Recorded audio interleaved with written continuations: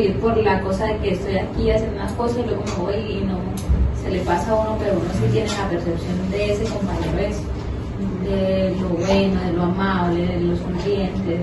Y lo otro, vea, por ejemplo, como decías que, digamos, estamos aquí 7 de las 7 de la mañana, imagínense ustedes también corriendo para el lado de aquí con la mejor actitud también, la mejor sonrisa, sí.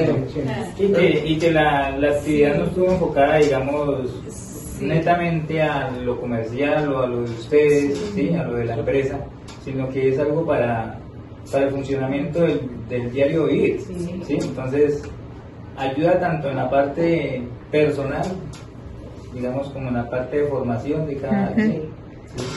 Y es algo que hasta la la sí. Cuando, cuando yo venía subiendo las escaleras, yo pensé que nos iban a hablar de sal.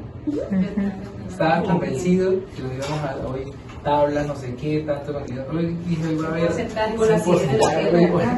esa, fue mi percepción. Obviamente no, era, no, no fue eso.